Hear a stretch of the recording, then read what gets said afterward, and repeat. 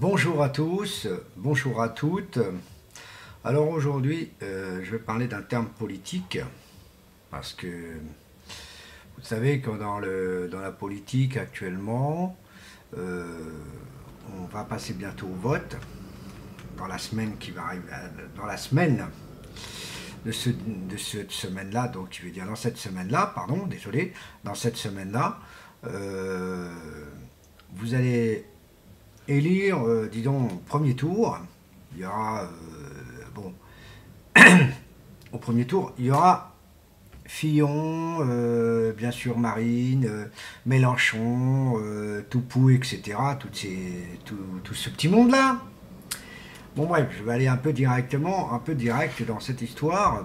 Tout simplement, les sondages, je ne suis pas quelqu'un qui croit trop aux sondages du terme journalisme, parce que dans le terme journalisme, on dit toujours quelque chose, et vous savez que, vous savez qu'en fin de compte, euh, les sondages, tout peut changer, tout, tout peut basculer. Euh, par moment, il n'y a pas si longtemps, on avait dit que Marine était en tête, et euh, François Fillon, pareil.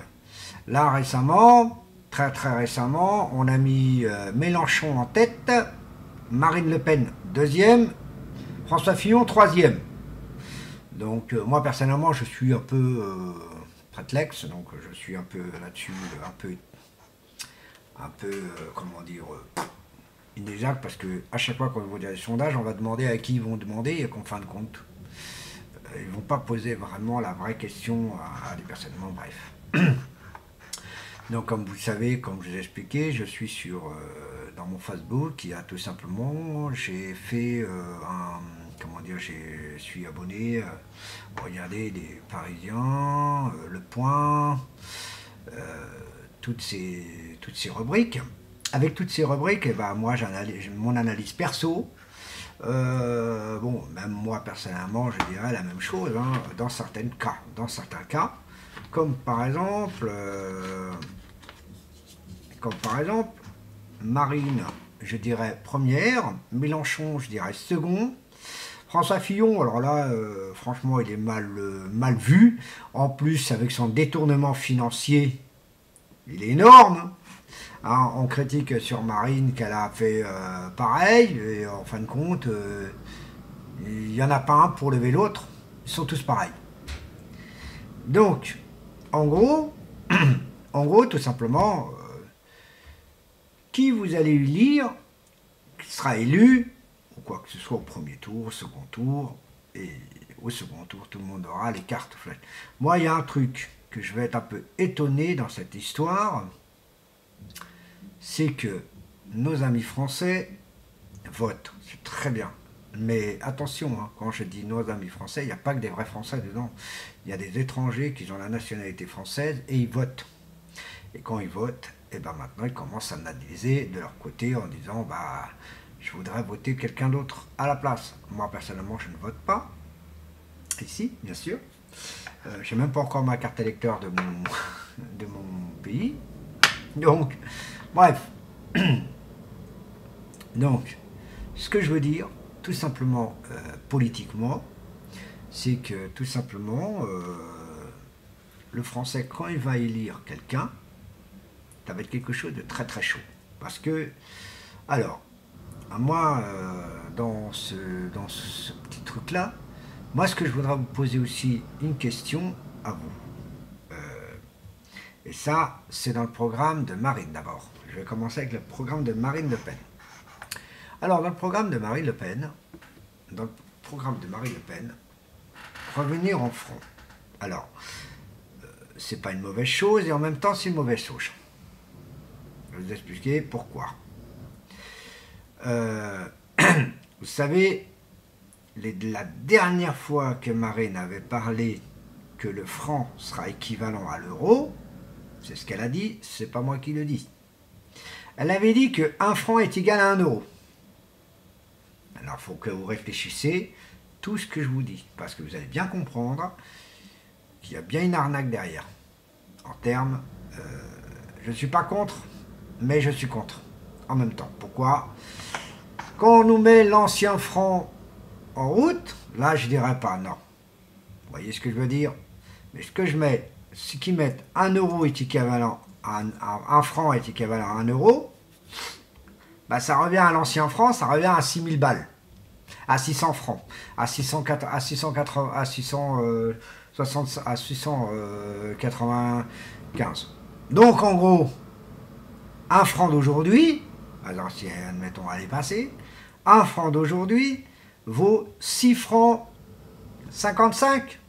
C'est dangereux, hein Donc, à vous de voir. Mais je ne suis pas contre dans son idée, mais son idée, elle est un peu farfelue là-dessus. C'est une très bonne idée, et en même temps, ce n'est pas une très bonne idée. Pour contre l'émigration, elle le sait très bien qu'est-ce qui se passe. qu'est-ce qui se passe? Elle sait très bien qu'est-ce qui se passe, mais contre l'immigration, moi personnellement, contre l'immigration, déjà tous les Français s'en vont de ce territoire.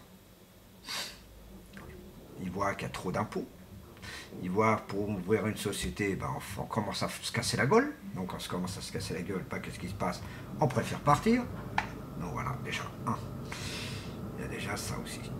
Donc, ça, c'est dans le programme de Marine Le Pen. D'accord? Mais ça ne veut pas dire que c'est mauvais. C'est même des très bonnes idées. Mais euh, dans, dans excusez-moi, dans la, dans la migration, c'est dans c'est vrai. D'avoir. Alors le problème dans les migrations, c'est c'est un bon sujet de passer dans, la, dans les normes, mais une question que je vais retourner sur Marine, c'est que tout simplement, un étranger qui veut venir sur le territoire français, qui veut y vivre ou qui veut y travailler ou peut passer des vacances, l'ambassade de France va demander des tonnes de documents, qui est logique. C'est tout à fait normal. Ces tonnes de documents, ces tonnes de documents, et eh ben, même que vous allez mettre tous les documents sur la table, et eh ben, croyez-moi que l'ambassade de France ne va pas faire passer la personne. Dans certains cas, oui. Dans d'autres cas, non. Comme par exemple le cas du mariage, quand quelqu'un se marie avec un Français, eh ben c'est tout simple. Là, on va lui donner son visa. Pour les études, c'est pareil. Mais si vous êtes sans immigrés, sans immigrés, on va dire, on va prendre le, Congolais, on va prendre les Congolais, sans Congolais, sur 100 Congolais, pour venir en France, ben, il n'y en aura que 50. Donc il y aura la moitié. Tous les autres, ils ont mis de l'argent pour revenir, pas possible. Donc visa rejeté. Ok? Donc c'est déjà ça. Donc, pour, pour, venir au territoire en France, avec, euh, avec les normes, eh ben, c'est quasiment euh, impossible. En gros, si vous êtes 1000 immigrés, dans les 1000, il n'y en, a que, en a que 10 qui va passer. Tout simplement. C'est ça en gros. Mais on ne va pas dire que la France, elle n'accueille pas les étrangers. Ça, c'est faux. Ça, c'est totalement faux. La France, justement, elle accueille beaucoup les étrangers. Beaucoup même, beaucoup trop même. Le problème, c'est qu'au jour d'aujourd'hui, c'est impossible. Pour gérer la France, elle est très en difficulté financière de son côté. Je ne parle pas des pays, des colonies françaises, mais je parle en elle-même. En elle-même, elle est en difficulté financière en difficulté financière très grave, très importante, et qui n'est pas normale pour elle.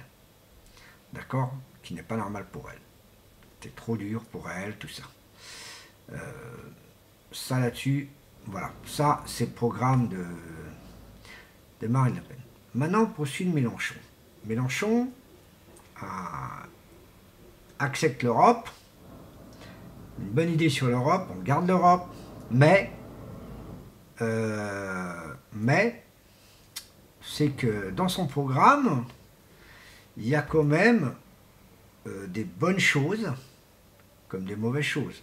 Mais sa bonne chose, c'est que j'aime bien son système, euh, par exemple, pour le, pour le domaine du vote. pour certaines personnes vont trouver ça pas normal, et pour d'autres, elles vont trouver ça normal. Vous savez, quand on est étranger, quand on demeure en France, on n'a pas le droit de voter. Ça, c'est tout à fait normal.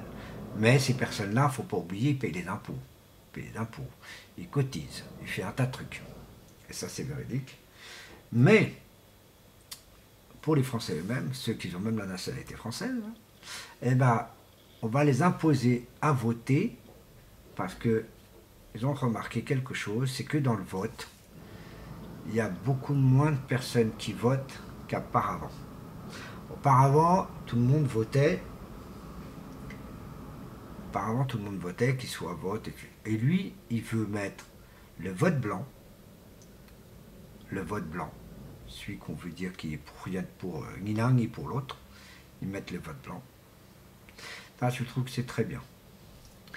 C'est vrai, vaut mieux donner sa voix, même si tu es mécontent.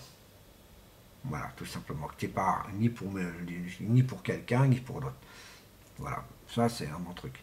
Dans les autres programmes qu'il a, pour l'Union Européenne, euh, c'est vrai que l'euro a fait aussi une catastrophe, mais il va le garder l'euro. Parce que euh, pour lui, l'euro, pourquoi l'enlever? On sait qu'on va dépenser des milliards pour revenir à une somme, à une monnaie que Marine veut mettre en place. Et ça, Marine, euh, là-dessus, c'est son niveau. Poutou, alors allons, parlons pas. C'est des politiciens qui ne servent à rien. Euh, c'est juste blablabla, blablabla, interdit à la guerre, tata, tita. Je suis pas contre non plus. Je trouve que c'est normal. Dans ce côté-là. Mais enlever l'armée, eh ben, franchement, les pays qui enlèvent l'armée, eh ben, ils sont dans la merde parce que euh, quand il y aura un acte terroriste, quoi que ce soit, ou autre chose, ou ceci, ou cela, ou cela, eh ben, on dans la merde. Voilà. Mais bon. Donc, euh, François Villon, n'en parlons pas, vous l'avez déjà eu en tant que Premier ministre, vous ne connaissez pas encore la recette.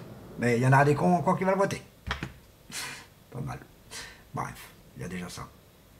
Euh, alors là, le socialiste, n'en parlons pas.